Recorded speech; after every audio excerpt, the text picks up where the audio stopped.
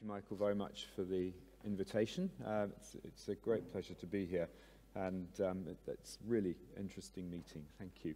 So I'm going to talk about the role of inflammation, which in, in tendon disease, and its relationship to degeneration, or, or as I, for various reasons, prefer to call it uh, fib fibrosis. I think, I think um, I might try and persuade you to at least consider that as an interchangeable term with fibrosis. One of the things we're struggling with, if not the main thing that we're struggling with, is understanding what it is that takes cells and cellular systems within tendon from a, an, a sort of early stages of a disease phenotype in, to heal and recover or to fail to heal and become more long-term or persistently abnormal, a process, generally speaking, uh, referred to in other systems as fibrosis. And it is remarkable at the moment, I think, how aligned a number of different research groups are becoming in this space, whether they're working in the liver, the lung, or the kidney. And a lot of musculoskeletal systems, I think, map onto basic research in these other areas. And this, this is certainly the terminology that those other research groups are using. And I, I think we should perhaps consider it. That there has been, as I mentioned on Wednesday, some dispute about the role of um, inflammation and tendonitis and the, the sort of weight of clinical review opinion is perhaps against inflammation, whereas the weight of basic science review is, is becoming a little bit more towards that, the fact that there's a, a role of inflammation in, in tendon disease. And this, this is a, one of my uh, PhD students has done uh, uh, sort of trying to pull together a consensus. But I think we were trumped by uh, Craig's fantastic review a few minutes ago of the whole world of tendinopathy. Uh, that was a, a, a surreal tour de force uh, lecture, which I, I, very much enjoyed. One aspect that I and uh, others have been trying to pursue is drilling down into the mechanism of tendon disease. And it's very difficult to do this, in my view, just from models, particularly from animal models, which don't particularly well replicate aspects of human disease. So therefore, in some way and in some form, we need to get access to the right materials that will allow us to discover mechanism. And that means, from my perspective, getting access to human tissue and cells to dissect and interrogate what's going on at the different stages of disease, why some people progress, why some people don't, why some people have symptoms, why some people don't, why some tendons rupture, why some tendons don't. We've got to get access to material and look at it in a new way, in, in ways that we can do in, this, in these last few years that we couldn't do five years ago, let alone 10 years ago. So developing means by which you can access tissues is, has for me has been crucial. and I've only really been working in tendon for about eight or nine years. I was in, in osteoarthritis predominantly before that. But I think getting hold of tissue is important. There are various ways of doing this. I've focused on the rotator cuff tendons of the shoulder and have developed a technique for repeated, uh, on occasions or isolated in the majority, biopsies in the crucial zone of the tendon where the pathology is occurring. We can now do this safely, in my view, in the outpatient setting, ultrasound-guided local anesthetic biopsies. And that's getting us access to a lot more tissue.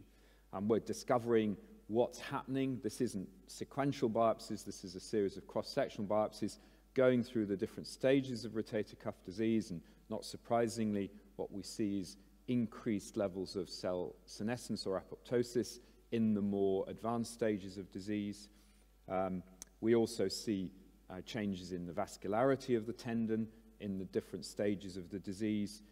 In the later stages of the disease, there is a predominantly fibrotic picture. And I think this is probably where some of the confusion has arisen. In the, in the past, most of the samples that people got access to were of later stage disease, where the predominant finding is of degeneration or fibrosis, often with really quite substantial extracellular matrix changes, deposition of calcium, phosphate, crystals, hydroxyapatite, and amyloid, and such disorganization that the cells that exist within that tissue have got all the wrong signals and cues, and they actually change their phenotype. So they, many of these cells become, rather than tenocyte-like, actually chondrocyte-like, and they start producing proteins like type 2 collagen. So we, we get morphological changes and we get behavioral changes in tissue that has got to this very end stage of the fibrotic process. But I, what I wanted to do was try and get earlier in the journey and see what was going on and ask the question, is there, not, is there not evidence of an inflammatory process in some form? And it, it's worth just, perhaps just rehearsing or reminding ourselves of what the classic story of inflammation is. Um, this is clearly not necessarily totally applicable to the tendon, but this is the story that you get initiation with pro-inflammation, you again get resolution with pro-resolution, and there are various mediators of these processes. They clearly overlap, and they clearly can go over different time zones. The cell recruitment, and I decided to focus initially on looking at cellular characteristics in tissue, neutrophils initially, monocytes and macrophages, and then with a very important but lowest number of T cells and mast cells also playing a part in, in the process. So through access to tissue actually from a trial I'd been running, we did find evidence of infl inflammatory cells in tendon tissue, and the, the numbers of those cells were greater in the earlier stages rather than the later stages of the disease, which sort of fit the theories that we were developing. And we and others have sort of put together some reviews of what's out there and, and have looked at all the various papers which Craig so eloquently discussed earlier. I think it is clearer to me now that at various crucial stages of the process of tendon disease, inflammation has a part to play. And therefore, that in the, I described it like a, a, a sort of game on a pitch, if you think there are a whole series of players on that game on the pitch, some of the players in tendon disease, in my view, are immune cells, inflammatory cells. Uh, probably not terribly importantly, the neutrophil. And if you think inflammation is just the neutrophil, then maybe that's why there's confusion. But other cells, particularly Treg cells and the macrophage. And the macrophage is an important regulator of tissue damage and its, and its healing.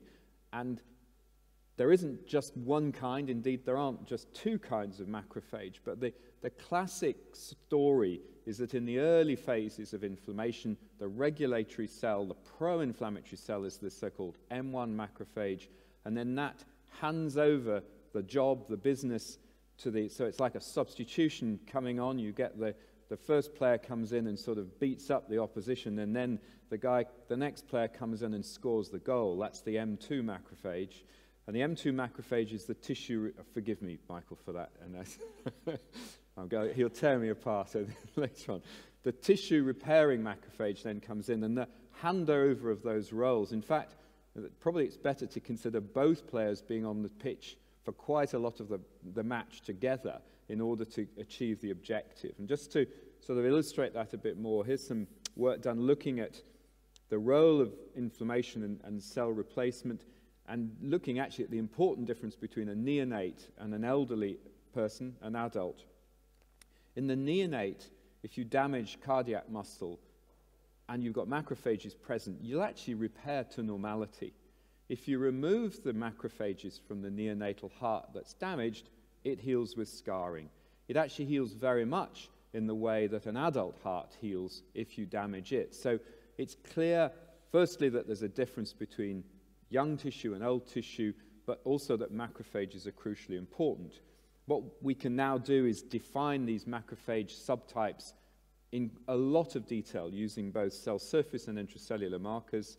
Um, the detail of, of that is not important. What is important is that this is a complicated story of the interplay of a whole series of different inflammatory and immune cells that come into the game at different stages and have crucial roles. If you disrupt that interplay of these cells, then you will probably disrupt normal healing and you will tend to move towards fibrosis.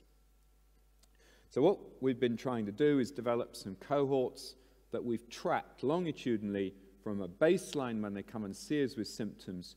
They then get treatment, be that an injection or some form of surgery, and we've then followed them clinically and we've rebiopsied them at three months and then going out as far as five years. So we've now got cohorts of patients that we've got both the population study of and the individual study of to monitor at a cellular level what's going on in their tendons.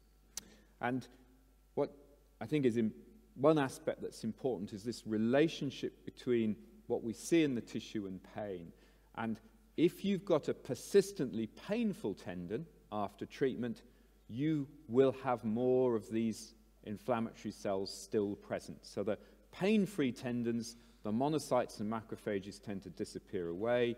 In the pain, persistently painful tendons, you have more of those cells present. So that, I think, is an important sort of observation, confirming in a way this hypothesis. These cells are also related in some way to the activation of nociceptors, to, to, the, to pain. And we've looked at a series of different pain pathways, and the most interesting for one for us at the moment is, is, the, is the neurosensitization of the glutamate pathway. So a, a particular component of the nociceptive possibilities and its receptor, both are upregulated in people with more pain. So here's another sort of, if you like, interesting component that we might derive from examination of cells and tissues. So what we've subsequently done is try to look in more detail at what causes activation and what causes resolution. And this is a paper, uh, Steph Dakin, a member of my group, uh, and we published uh, at the end of last year.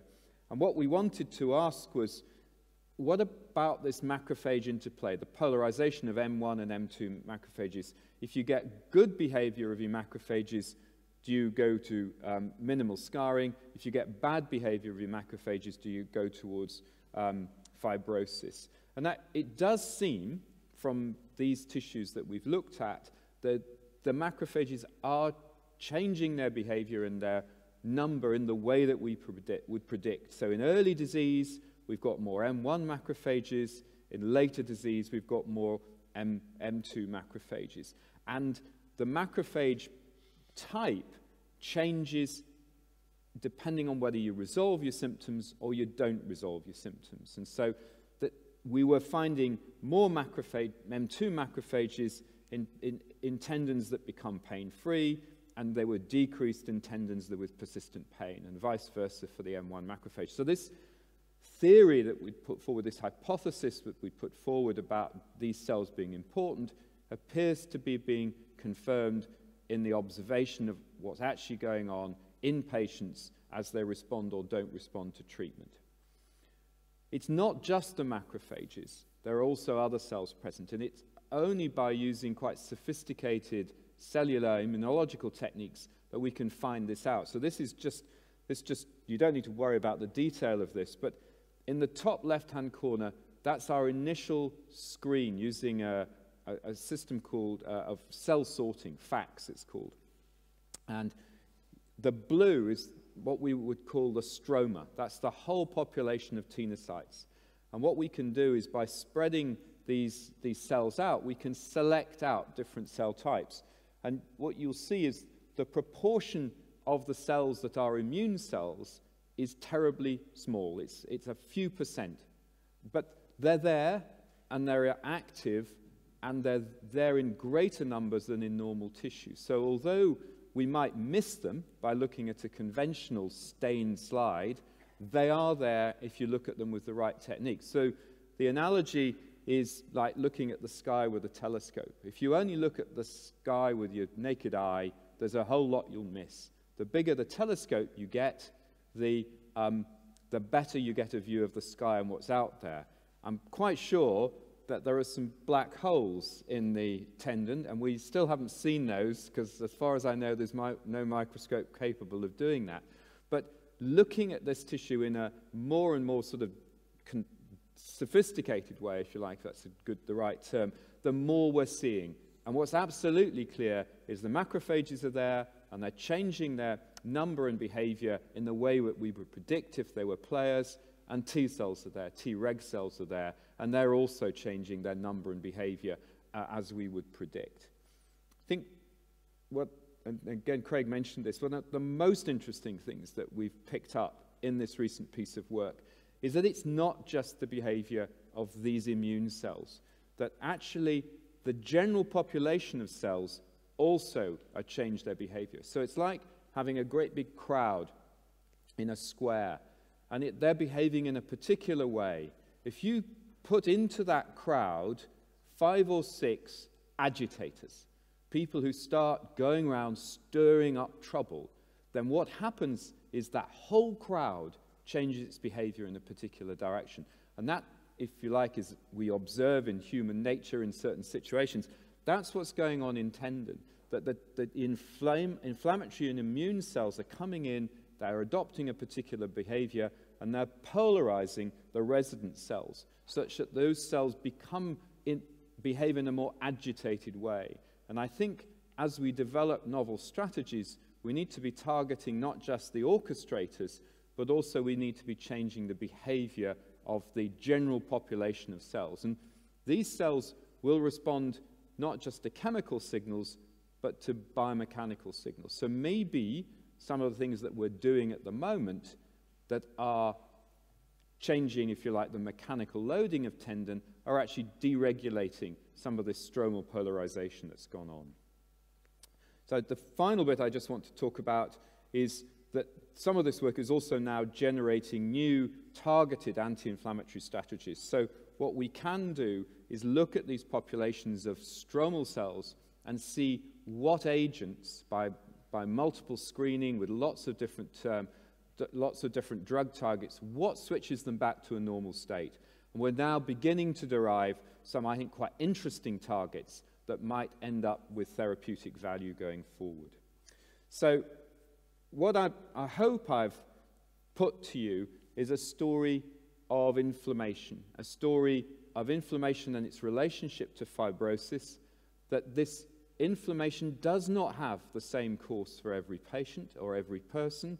There are genetic and environmental factors that determine whether or not that inflammation resolves, whether it persists with pain above a nociceptive threshold, whether it persists without pain below a nociceptive threshold, or whether it actually never hits a nociceptive threshold and causes fibrosis which leads to rupture in a patient that never had symptoms at all. So uh, by mapping out and understanding this longitudinal story of the role of inflammation and its relationship to fibrosis and understanding where and when to target new therapies, to me, is the way forward in tendinopathy. Thanks very much. The next uh, 20 minutes, I will uh, try to convince you that the nervous system is highly involved integrated in all parts of tendinopathy.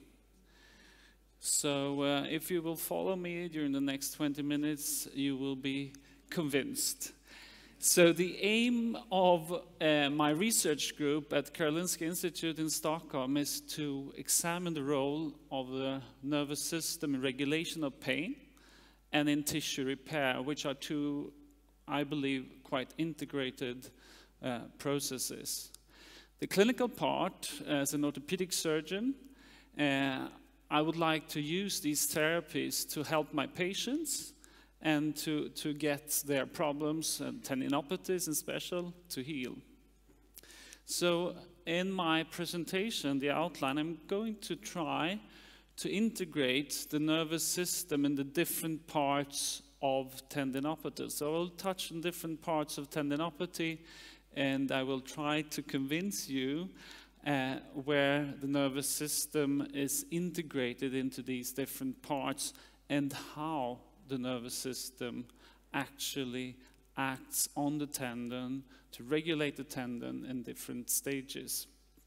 Let us uh, look at uh, just shortly introduction and epidemiology. I mean, you're quite aware that uh, tendinopathy is a huge problem and uh, this is uh, maybe one of the most uh, prominent causes uh, for our patients to seek a GP. But in also in sports, that's uh, our main interest, maybe why we're here, is that the athletes, half of the athletes are affected by tendinopathy. and it's the main reason why the athletes have to stop training and competition. And uh, in Denmark, you might know this uh, soccer player, and um, I don't know if this works. I didn't bring a, a, photo from the game with, uh, uh, with Denmark because that was, I thought that would be rude. So, I don't know if you can see this, but have a look at that.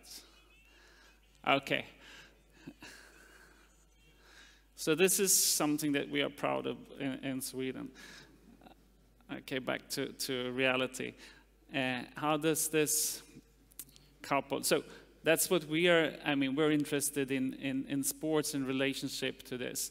But for treating our athletes and our patients, we also have to understand the underlying pathology. Uh, what happens to our patient? What is the underlying pathology? How can we help them?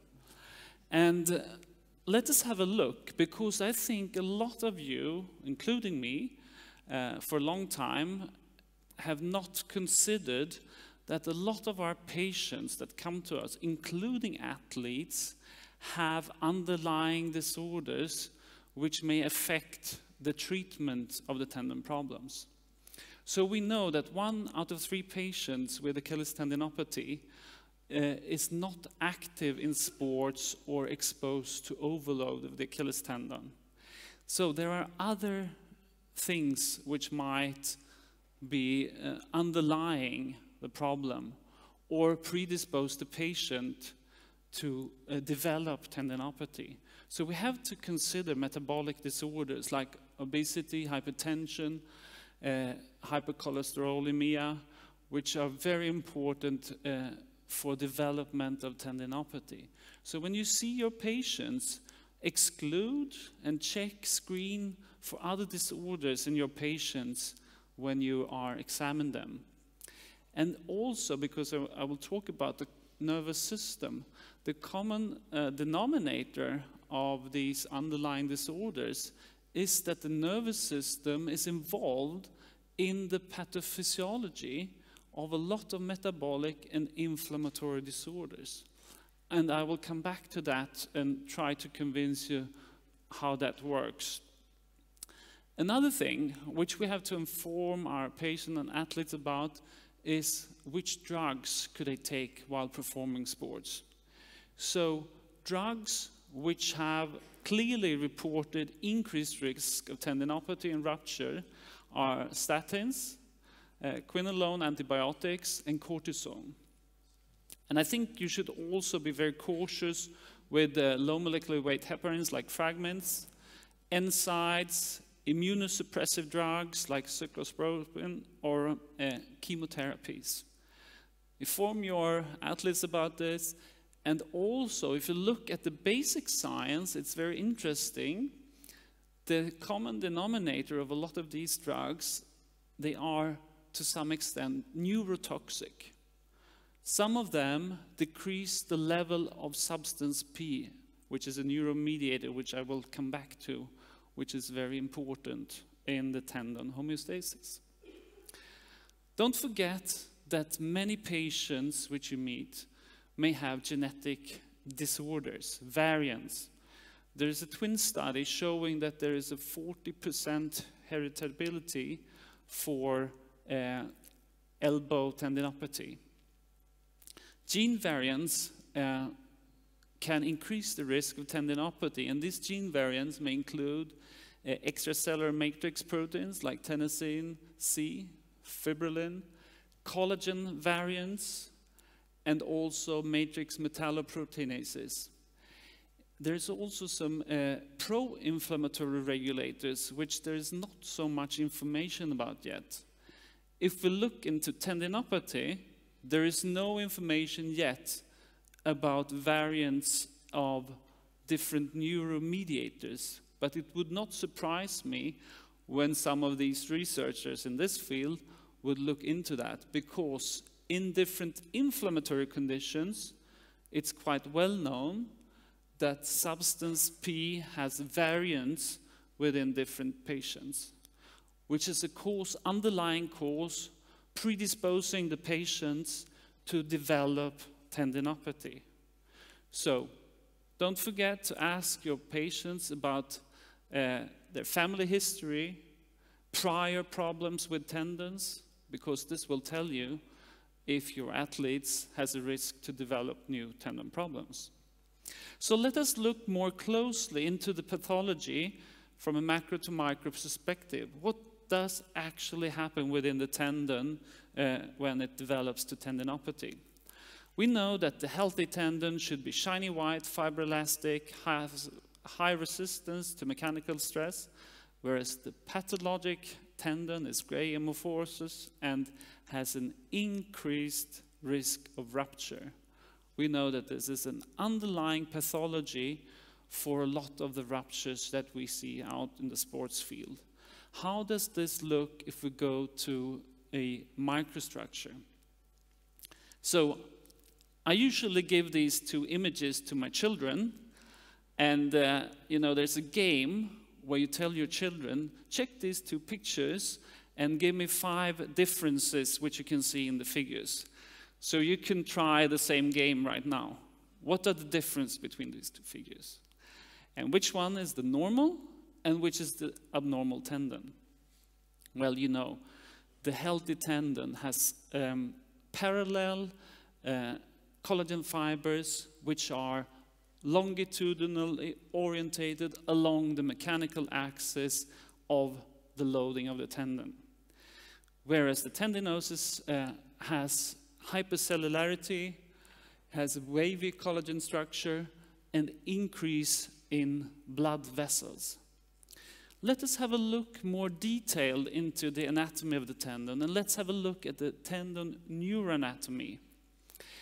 I don't know uh, what you learned in uh, school, but what I learned in school was that uh, nerve fibers were either myelinated or unmyelinated. And uh, their main function was to transmit pain or to regulate uh, blood vessels. But recent knowledge about nerve fibers, we know that nerve fibers can exhibit different transmitters in various amounts and various compositions, which together regulates a lot of important information. And I want to connect to the last speaker also that these mediators are uh, highly involved in fine tuning inflammatory conditions and also involved in immune regulation, differentiation, and growth. So let's have a look into the intact neuroanatomy of the tendon. Where do we find these nerve fibers and these mediators? We take the Achilles tendon and we look at uh, micrographs at the neuroanatomy. If you look at the proper tendon tissue, it's practically devoid of nerve fibers and neuromediators. Nerve fibers end in the paratenon, which is the metabolically active part of the tendon, and nerve fibers end at the muscular tendinous junctions, which is also the metabolically active part of the tendon, if we look closer, these small nerve fibers partly are located around blood vessels with autonomic neuromediators controlling blood functions, but also around free nerve fibers, like here. And in the free nerve fibers, we find, for instance, substance P, a sensory neuromediator.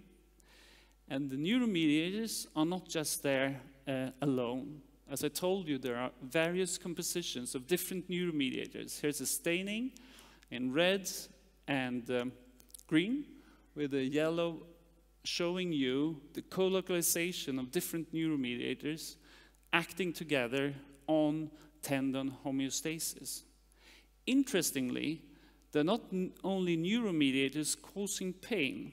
There seems to exist a antinociceptive system also in the tendon consisting of opioid, peptides and of their receptors. There's a co-localization in the paratenon of opioid peptides and their receptors. So let's have a look of the neuroanatomy in tendinopathy. What happens in tendinopathy? Here's the intact tendon, normal staining, and the intact neuroanatomy. We only see nerve fibers in the paratenon, not within the tendon proper. In tendinopathy, you see here, normal staining, you will see an ingrowth of nerve fibers within the tendon proper. And we see that this is an ingrowth which does not seem to retract because we know that nerve ingrowth is a normal physiologic reaction to tissue injury. In tendon repair, we see nerve ingrowth during the proliferative phase, which successively retract back to the tendon envelope, to the paratenon, which normally reside, after the healing process. But in the chronic tendinopathy, probably this nerve ingrowth is trying to help the tendon to heal, but the normal regu uh, regulation, which regulates the retraction of nerve fibers back to the tendon sheet, does not work normally. So we have a protractive ingrowth of nerve in the tendon proper. And we know from neurophysiology that nerve fibers can mediate pain in response to either mechanical, thermal, or chemical stimuli. So let's have a look what we have here in the tendon. Just first to, to summarize the pathology. We have a hypercellularity, we have increased ground substance, and we have an ingrowth of nerve fibers into the tendon proper which is normally devoid of nerve fibers. What causes, we have to look also, what causes these alterations? What causes these tendinosis alterations? Let's have a look at the normal tendon homeostasis. We know that the most powerful regulation of tendon homeostasis, extracellular matrix formation or degradation, is loading or unloading, respectively. Also, selectivity and growth factors are important things. So we know from work from Copenhagen that after an intensive load of a tendon, we have simultaneously new collagen formation, but we also have a degradation of collagen. So the net uh, production is a net catabolism during the first 24 hours. First, after the 24 hours, there's a net production. However, the exact mechanism for this regulation of the tendons are not yet fully known. And a lot of uh, new information during the last decade show that in tendon homeostasis and adaptation to load, that also different nerve substances are involved in the different regulation of the tendon. And we have collected um, the data from the last decade where we know a little bit more about the neuroanatomy. And this is uh, some of the neuromediators and receptors which have been shown to occur in tendinopathy. Most of the mediators and receptors are upregulated in tendinopathy, with one exception. That is noradrenaline, which seems to be downregulated in tendinopathy. The exact cause why noradrenaline is downregulated is not fully known, but we suspect that noradrenaline uh, may be an inhibitor of pain, and thus, uh, when it's downregulated, may lose its pain inhibiting, but there are a lot of uh, speculations about this. So I'm trying now to convince you that there are a lot of alterations in the nervous system occurring in the uh, pathology of tendinopathy. But how can load lead to tendinosis. How does this occur? These are some of the hypotheses which have been thrown up during the last 20 years. The reactions to repetitive load. There is one uh, study from the UK, I think, where they put in uh, thermometers into the tendon of racehorses and they found elevated temperature up to 40 or over 40 degrees within the tendon. And the uh, idea of hyperthermia, that where you cook the protein, uh, was founded. Inflammation, we just heard about, it's still not decided how it works. Hypoxia is another very important factor. And then we have a nerve and blood vessel ingrowth into the tendon proper. And these nerve and blood vessels, as I recently showed you, they release a lot of different neuromediators and they cause this so called neurogenic inflammation. So, how is the ingrowth of nerves and blood vessels into the tendon regulated? These are some of the known regulatory factors. We know that mechanical stress, or either also a tendon injury, and specifically if you have a bad load, presumably, this will lead to ingrowth of nerve fibers into the tendon.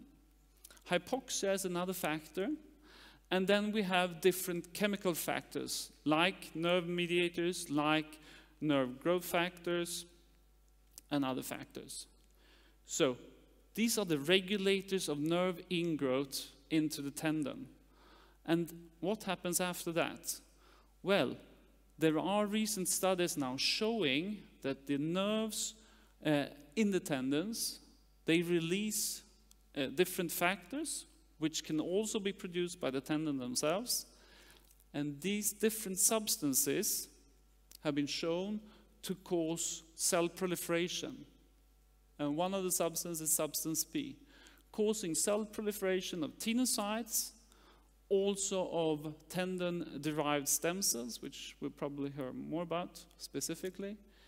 Uh, they can also cause proliferation of nerves, of blood vessels, and one of the potentiator of substance P is glutamate, which increases the cell excitability. So, uh, some of the conclusion about tendon pathology is that we have a repetitive mechanical stress, maybe due to incorrect biomechanical load, leading to nerve and blood vessel ingrowth into the tendon proper. And these uh, nerves release different chemical substances, like substance P, and they produce some of the changes which we see in tendinopathy. Another of the question which uh, my patients always ask me when they come to me, where does the pain come from in uh, tendinopathy?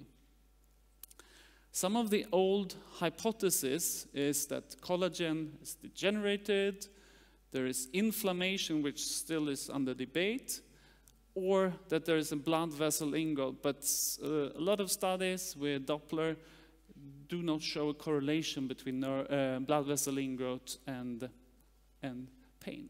But we know that nerves can mediate pain on different type of stimuli. And one of those stimuli are different biochemical substances. But there is also more intriguing factors on nerves which we have to look at. But we know that nerve ingrowth is present, we know that these different stimuli exist, and another factor is that we know that sensitization is present both peripherally uh, and also shown during the later years, there is a central sensitization. And we have shown that the peripheral sensitization occurring in tendinopathy relates to upregulation of different uh, pain receptors. One of those is uh, NMDR1, the glutamate receptor, which is about tenfold, almost tenfold upregulated. Another uh, part of the glutamate receptor, which is more pain active, in painful conditions is the so-called phospho NMDA receptor.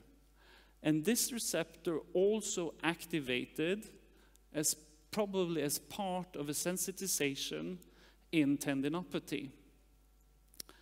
So yes, an upregulation of several nociceptor is there as part of sensitization of tendinopathy.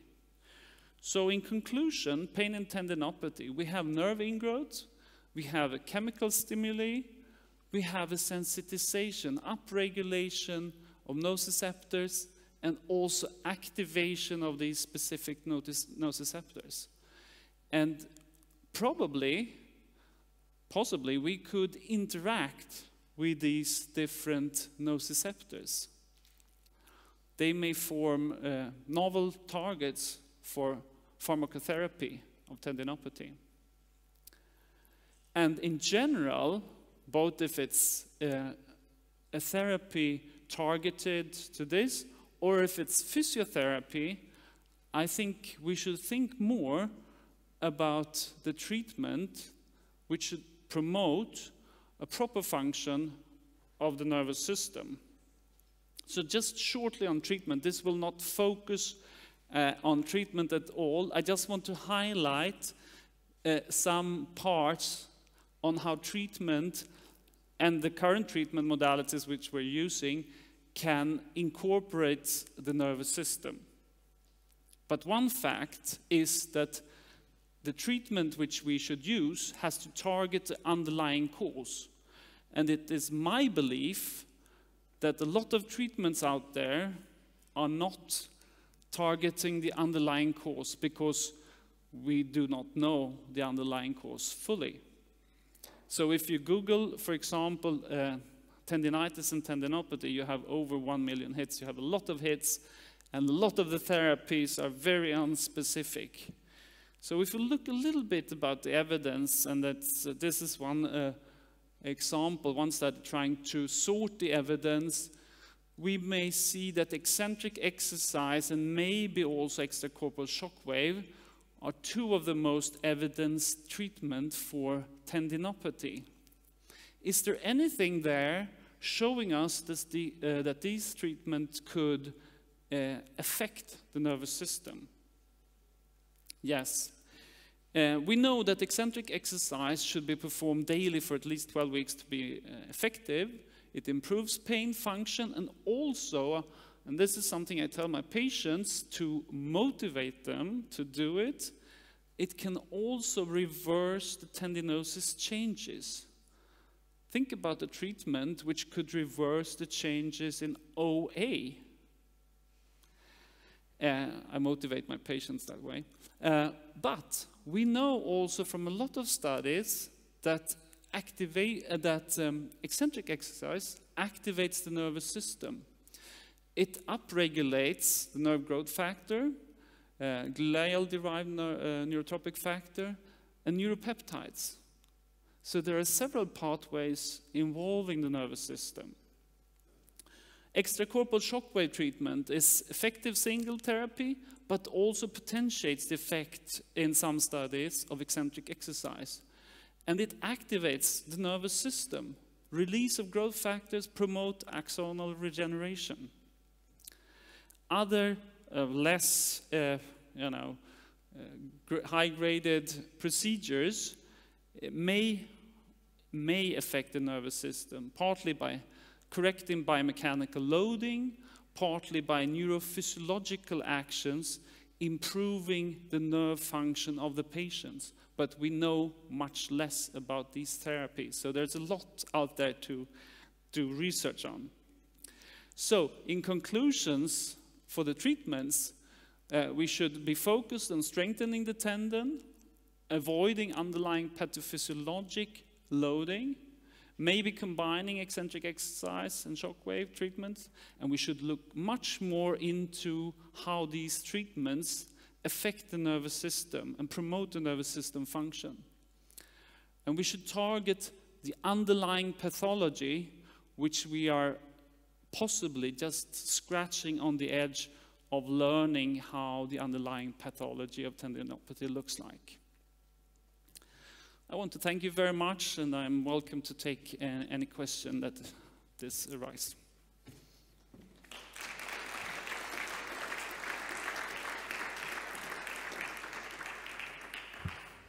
Thank you, Paul. Uh, pain is a complicated thing, so maybe you could expand a little bit on your, your thoughts on the fact that you, when you develop tendinopathy, it's not just an either or. I mean, on the temporal pattern, you very often have a situation where you, you can still do exercise, there's pain afterwards, then there is pain when you start, but you can still get loose of it when you have trained, then you're pain all the time, and then it becomes unbearable.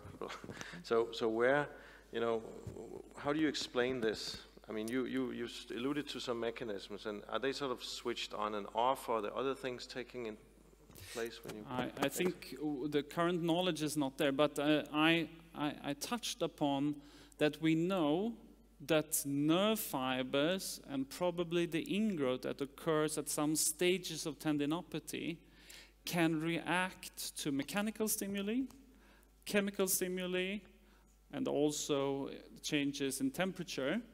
But the two main stimuli may be mechanical, and this is what you allude to. So, probably when patients start to feel pain during loading, it may be due to the uh, nerve fibers being there, being activated during the loading of the tendon. Whereas the other part uh, that you're talking about, uh, maybe let's say it's a post training pain, could be due to, now I'm, this is no conclusion or facts, but hypothesis, could be due to upregulation of chemical substances like substance P, glutamate, being released from nerve fibers in the tendon during the exercise. And then you have the third stage, pain, which is there constantly, and uh, hyper excitability, which may be due to the sensitization. We discussed the peripheral sensitization with upregulation of nociceptives, uh, recept nociceptors, and also this can occur centrally in a similar manner. Very, very often you have, uh, if you have inflammation, you will also have pain. So the question now is, when exactly is what you describe there with ingrowth or pain that is coming?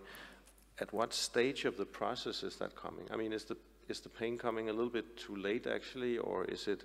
Are there a lot of things going on, or can you argue that there is no inflammation because you know could it just be the pain comes from inflammation in the tendon? No, I, I would argue for the, the, the, the combination of inflammation together with uh, nerve reactions and neuromediators. We know, uh, as I tried to explain, that the neuromediators and the nerve fibers are, are highly involved in fine tuning uh, the, the immune response the inflammatory response in the human body. So I think there's a, a complex interaction between the nervous and the inflammatory system in, in regulating uh, also uh, the pain in these patients. Okay, thank you very much once again. Thank you. Yeah, thank you very much, Michael, for giving me the opportunity to show some of our work here uh, at this uh, really interesting forum. Um, I'm a cell biologist and biophysicist, so this will really be a, a basic science talk. And one of the, the, main interests of our institute that is relatively young, we were founded in 2012, um, is the understanding of basic mechanisms in tendon development, in tendon aging, tendon degeneration and regeneration. And uh, one thing you necessarily tumble over when you look into basic mechanisms of tissue development is stem cells.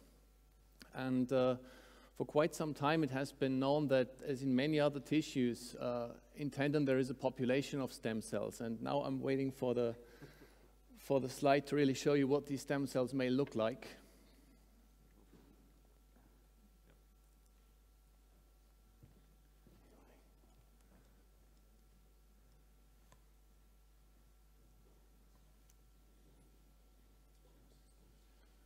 Well, anyway, my first slide would have been empty just to attract your attention to what I'm saying, so you didn't really miss out a lot.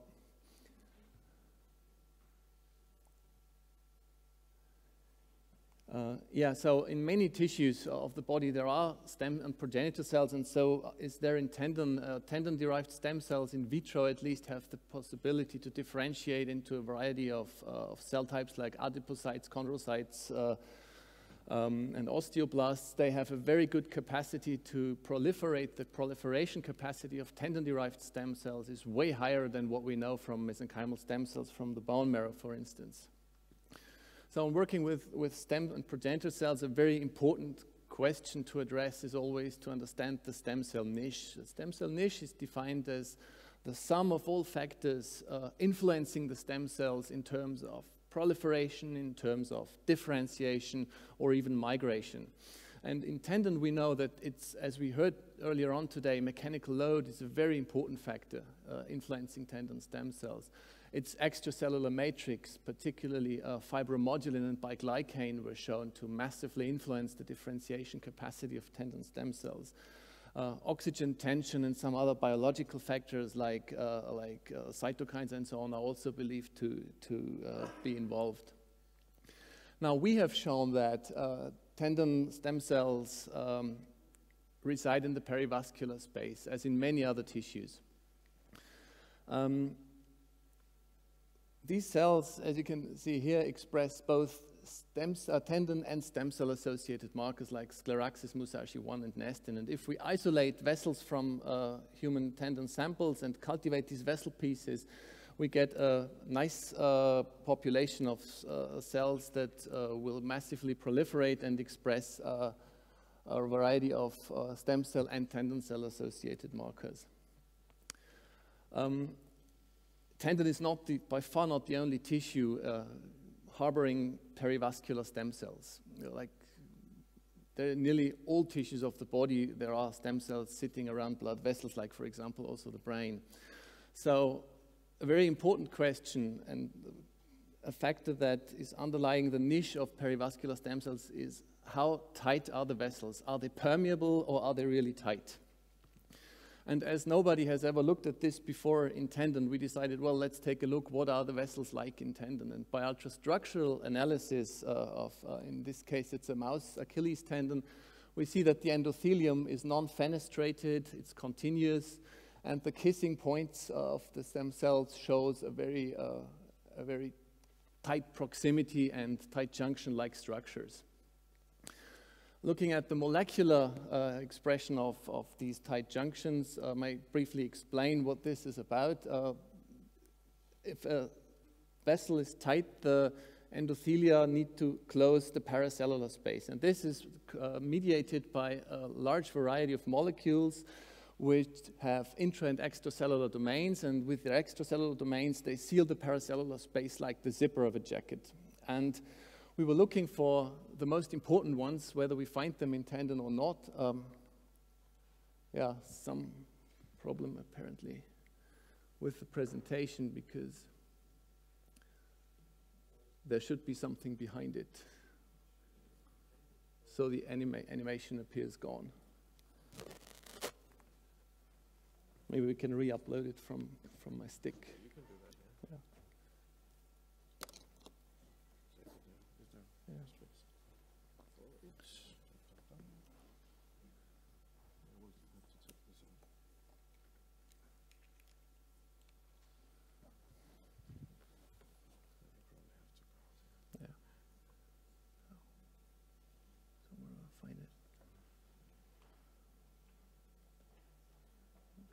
see the mess of my stick. Oh, that's upgrade. That's just upgrade. Oh. You don't want to do that. No. What do you want to do here? Yeah, one?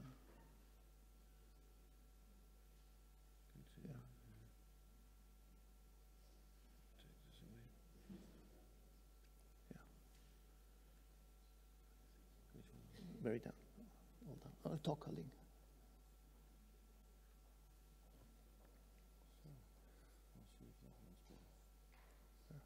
Well, sorry, so, sorry for the delay. We'll hope that it now works. I think you can run this one. Okay, I can, I can do it from here.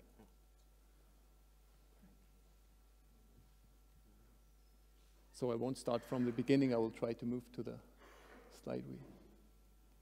Yeah, now that's there.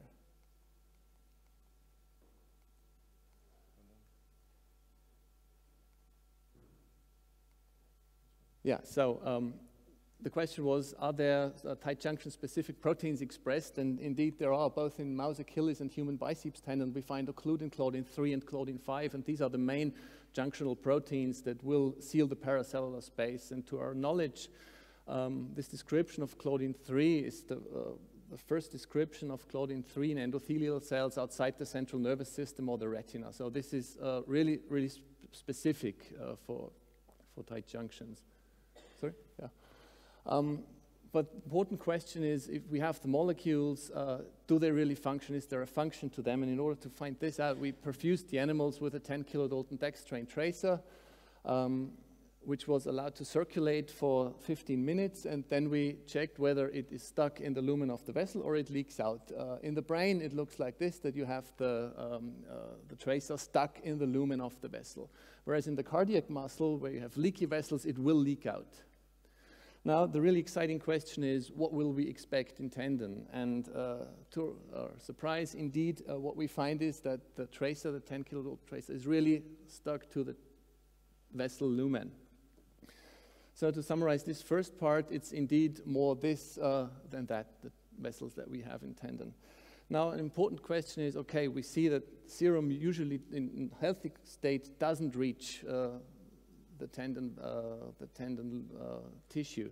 So what happens uh, if we disrupt this barrier? And so we decided for an, an in vitro approach and tried to see what happens if we challenge uh, tendon stem progenitor cells with increasing amounts of serum.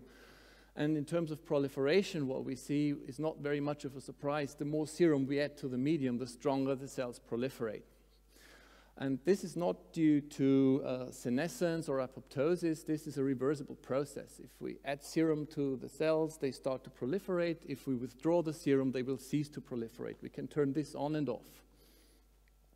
Um, does serum influence differentiation? Uh, yes, it does. We uh, used a serum-free differentiation medium that is suitable to differentiate mesenchymal stem cells. It's called Osteolife. It's a serum-free differ differentiation medium, which works perfectly well with uh, mesenchymal stem cells, but it entirely fails in tendon cells unless we add serum. So promoting, uh, adding serum really promotes osteogenesis within tendon cells. The same accounts for adipogenesis. Uh, this medium is then called Adipolife, what a surprise, and it doesn't work in tendon cells, unless we supply them uh, with medium. And we also see this on a transcription level with PPAR gamma on RNA levels. Um, now, uh, does it do something with matrix turnover? We looked at MMP9 activity and MMP2 expression uh, on uh, RNA level and uh, um, in, in, in, zymography, and we see that indeed both MMP9 and MMP2 increase uh, their activities uh, with increased serum concentrations. One might argue uh, this could be because simply the cells are generally less active if they are cultivated without serum, but this is not the case because if we look at procollagen, we see that the expression levels of procollagen are not affected by the amount of serum we add, or not as dramatically. Um, so summarizing, uh, what we see in healthy tendons that there is a barrier with very large similarities to the blood-brain barrier. And if we, if we simulate a breakdown of this barrier in vitro, we see that we get increased cell proliferation, that we get increased differentiation, and that we get uh, an increase uh, of catabolic factors. Now, what can we say about tendinopathy? And this is uh, something we're very limited in Austria, or at least at our institution, because regulatories are extremely strict and they won't allow us to take biopsies from tendinopathy material. So I'm really grateful to Michael Kjær that he uh, provided us some cDNA from tendinopathy uh, patients it was uh, material from Achilles tendons that have been tendinopathic for at least six months. Uh, it was a case control study, and uh, healthy control material was taken four centimeter proximal to the uh, to the um, to the tendinopathy area. And we were looking at one specific protein, which is called plasma lemma vesicle protein 1. This is a key uh, regulator of endothelial cell fenestration. To put this a bit illustrative, it, if you add PV1 to this, uh, you will get this. So it causes uh, endothelial cell fenestration. Now, what we see is that really PV1 is significantly upregulated in tendinopathy material. Um, we're looking at two other uh, important or interesting candidates, which is uh, von Willebrand factor uh, and CD31. We don't see a change in CD31 exp expression, but von Willebrand factor is decreased, and von Willebrand factor decrease is very often associated with increased angiogenesis. And an upregulation of VEGF, which in turn uh, makes vessels more, uh, more permeable. VEGF was formerly called vascular permeability factor. So I was asked to also uh, contribute a bit to the discussion on uh, tendinopathy and inflammation. And uh, thinking of vascular permeability and uh, inflammation, what comes to my mind is that we know, for example, from the blood-brain barrier that systemic inflammatory processes uh, uh, compromise the blood-brain barrier and lead to an increased uh, incidence of, for example, Alzheimer's disease. So looking at risk factors, we heard that quite a few times earlier on today. Uh, besides being Keith Richards, obesity and uh, diabetes are uh, risk factors. And one thing aging rheumatoid arthritis, smoking, diabetes, and obesity have in common is that they represent a systemic low-grade inflammation. This is a thing all of these uh, states or behaviors have in common. So um, we want to know, does systemic inflammation affect tendons? And first of all, we were looking into, this is mouse data, it's not human material. We're looking at what kind of inflammatory or, or immune cells do we have in intact healthy tendon. And we find a, an interesting population of CD68 positive cells that are also positive for scleraxis what does that mean? These are not some macrophages that invaded the tendon from somewhere, but they reside there and express tendon cell markers. Same accounts for CD163, F480, and so on. So there is a population of resident macrophages in intact mouse tendons. Now, we wanted to see what happens if we uh, cause a systemic inflammation in a mouse. So what we did was we uh, applied an asthma model. That means we immunized mice with a Timothy grass pollen allergen for two weeks. That means we made them allergic or asthmatic. And then after uh, a few weeks, we challenged them with, uh, with this uh, grass pollen allergen and caused a systemic inflammation. So these animals developed asthma. And uh, we did a lot of cytokine profiling, and we really see that they have a very nice uh, Th2 type of immune response. And now we were looking at the tendon, and what we see indeed is really a response in the tendon. I may draw your attention here to MHC2, which is apparently upregulated. This is really work in progress, so we're still doing the quantification, and this is really data absolutely fresh from the lab. We see a loss in uh, CD 206, which would uh, indicate a switch from an M2 to an M1 macrophage subtype. And we also did uh, some biomechanical tests, and what we see is that really load to failure, the maximum tensile load is significantly decreased in the asthmatic animals. So this has nothing to do with the local inflammation tendon. The inflammation goes on in the lungs, and we have an effect on the tendons. So uh, summarizing this uh, inflammation part, we see that mouse tendons harbor cells with a macrophage phenotype, and apparently these cells or the whole tendon reacts to uh, systemic inflammation. Well, unless this is a basic research talk, it always has to come up with more questions than answers. Um, what we really need to find out is the blood tendon barrier, barrier compromised in tendinopathy, besides some RNA data that we have. Uh, could it be a novel treatment target to, to, to tackle uh, tendinopathy, to try to retighten the, the, the, vessels?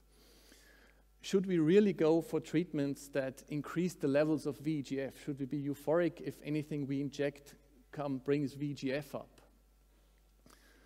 Um, and can we find a correlation in humans between uh, systemic inflammatory diseases and tendinopathy? There is one major problem in that because most systemically inflammatory diseases are at some point treated with high doses of corticosteroids. And we know very well that uh, corticosteroids affect tendons and increase the risk. So we would probably mimic, or, or we, would, we, would, probably uh, not see the effects of the systemic inflammation.